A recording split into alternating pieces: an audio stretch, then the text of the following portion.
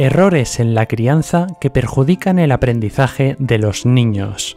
En el vídeo de hoy veremos tres cosas que damos por hecho a la hora de enseñar a los niños y que en realidad están perjudicando su desarrollo. Más concretamente, están lastrando su aprendizaje, tanto en la escuela como fuera de ella.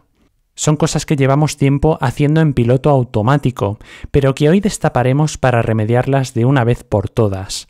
Destapar estas falsas creencias te permitirá eliminar los errores que comete todo el mundo y educar mucho mejor a tus hijos. Antes de que empecemos, quédate hasta el final del vídeo porque allí te regalo mi libro sobre educación, Viaje al centro del niño. Y por supuesto, recuerda suscribirte a Educando Héroes y activar la campanita para no perderte todo este contenido de valor.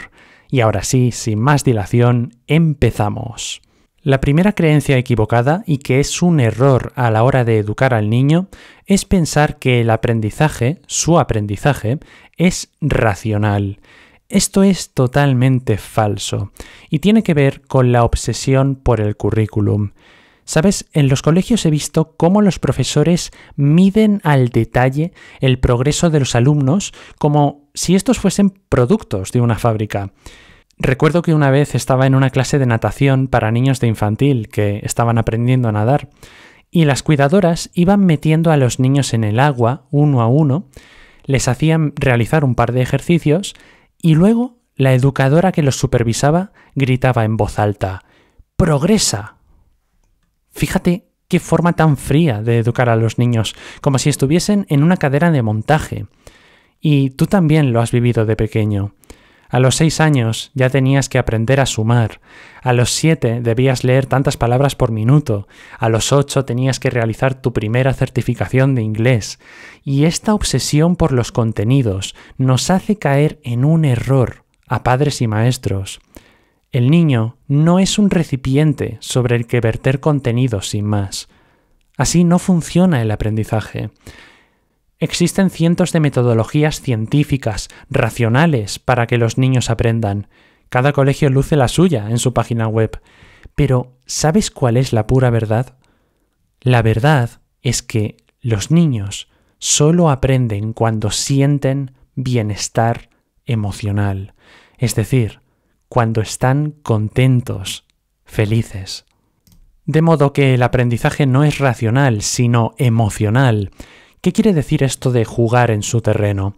Pues los estudios sobre el cerebro del niño demuestran que éste aún no ha desarrollado su parte lógica, la parte lógica de su cerebro, por lo que su parte emocional lleva el mando la mayor parte del tiempo. Entonces, sabiendo esto, ya lo estarás adivinando. Lo más inteligente, lo más lógico, irónicamente, sería educar a los niños de una manera emocional, es decir, priorizando su bienestar emocional por encima de los objetivos curriculares. Porque puedes aplicar la metodología más innovadora de matemáticas, pero si el niño está triste, cansado o preocupado por algo, te aseguro que no le entrará nada en la cabeza. El bienestar emocional es el filtro indispensable en el aprendizaje. Si eres padre, no te obsesiones por las metodologías de tu colegio y por los objetivos. Asegúrate de que lo primero que buscas en el niño es su bienestar emocional. Con una sonrisa y una metodología sencilla, el niño puede aprender cualquier cosa, pero el primer paso y el último para que el niño aprenda es que sonría. Segunda creencia equivocada, y esta es una de mis favoritas aprender por aprender. Y esta creencia tiene que ver con la pregunta que todos, y tú también, nos hemos hecho alguna vez cuando éramos pequeños. ¿Por qué tengo que aprender esto? ¿Qué responde el profesor a esto? Pues porque tienes que aprenderlo, melón, porque sí. Y esto conecta con la falta de propósito. Los niños no saben el motivo por el que aprenden las cosas.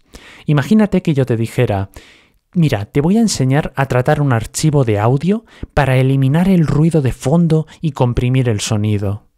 Seguramente te preguntarías por qué deberías aprender eso. y no estarías demasiado motivado. Pues a los niños les pasa lo mismo. ¿Por qué crees que no recuerdas siquiera las partes de la flor de cuando estudiaste en primaria?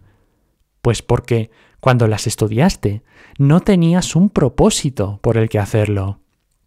Entonces, ¿cómo solucionar esta falta de propósito?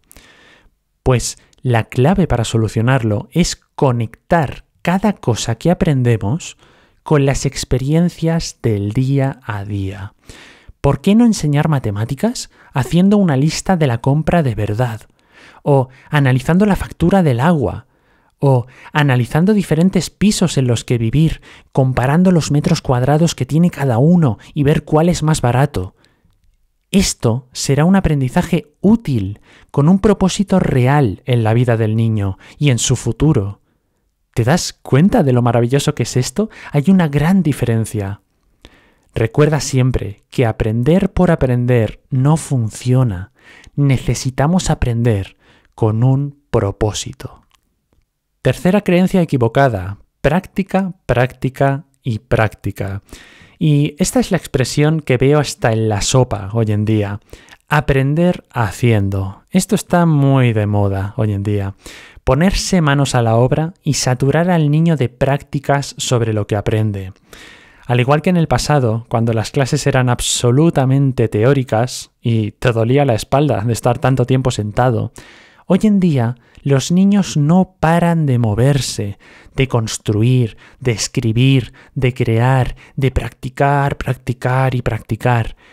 Puede que tú mismo hayas caído en este hábito de tener al niño en movimiento todo el día. Y los educadores justifican esto diciendo que el niño aprende las cosas no leyendo y memorizando, sino poniéndolas en práctica. Y en parte tienen razón. Pero cuidado con esto porque estamos cometiendo el mismo error que en el pasado, inclinarnos demasiado hacia un lado de la balanza. La clave de esto está en el equilibrio entre la práctica y la reflexión. Y hay una frase que considero todo un referente en lo que es la educación, y es la siguiente. La acción por sí misma es ciega. La reflexión por sí sola es impotente. Imagina que quieres aprender a tirar con arco. Puedes pensar que solo lo lograrás si disparas y disparas flechas una y otra vez, pero si solo hacemos esto, sin detenernos a reflexionar cómo lo estamos haciendo, la práctica, por mucha que sea, no producirá ninguna mejora. Es importante detenerse a hablar, reflexionar sobre lo que estamos haciendo, dejar que el niño nos cuente sus sensaciones, impresiones y pensar en cómo podemos hacerlo mejor. Crear ese oasis que nos sirve como descanso al tiempo que alimenta nuestro aprendizaje. Respóndeme a una pregunta. ¿Cuánto tiempo pasan los niños moviéndose en educación física? ¿Y cuánto tiempo dedican a reflexionar sobre cómo se están moviendo?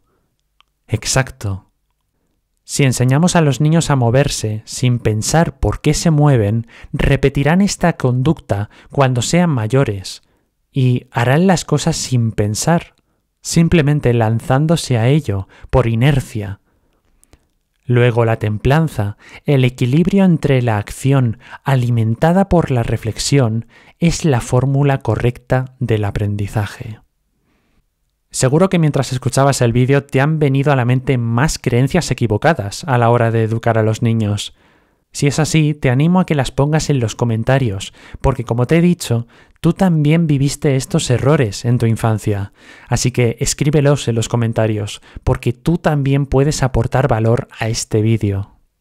Si te digo la verdad, tengo otras falsas creencias en el tintero para traer una segunda parte de este vídeo, así que si el contenido te ha inspirado, recuerda dejar un buen like y si veo que os gusta este contenido, os traeré una segunda parte. Y por supuesto, tal y como te prometí, en la descripción del vídeo tienes mi libro gratis Viaje al Centro del Niño. Descárgalo porque es totalmente gratis y te va a ayudar mucho a mejorar la educación de tu hijo. Y sin más me despido, mi nombre es Alex Gil, esto es Educando Héroes y nos vemos como siempre en el próximo vídeo. Hasta muy pronto.